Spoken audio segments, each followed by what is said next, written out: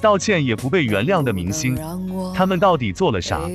第一位林心如，林心如可以说是很多男人心中的完美女神，因出演《还珠格格》污蔑周杰强行舌吻，自己随口的一句话让周杰沉寂了二十年。虽然事后澄清，便也于事无补。第二位大鹏，早年大张伟参加大鹏主持的一档综艺，却被大鹏的经纪人恶意剪辑并发到网上。从此，大张伟被贴上污点标签的艺人，演艺生涯从此断送。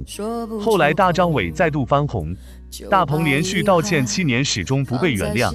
第三位，那英，那英在歌唱界有着举足轻重的地位，却目中无人，嘲讽刀郎的歌都只有农民才听，话里话外更是瞧不起农民，这也是那英一直洗不白的黑点。第四位，姚笛。当年在娱乐圈何等的威风，可惜年少轻狂不懂得珍惜，却与有妇之夫的文章凑到一起，把辛苦积攒多年的好形象毁于一旦。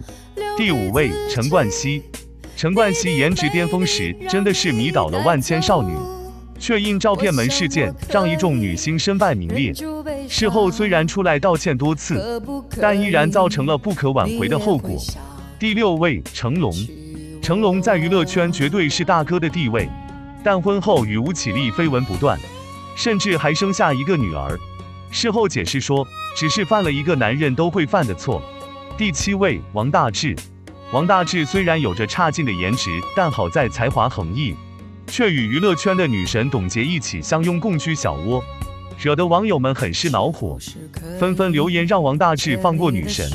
第八位张娜拉，张娜拉是韩国偶像明星，因刁蛮公主在中国走红，但是火了之后就有点飘了。张娜拉说没钱了就去中国演出，因此在中国娱乐圈遭到封杀。后来张娜拉也是出面道歉，但是中国网友并不买账。第九位杜海涛。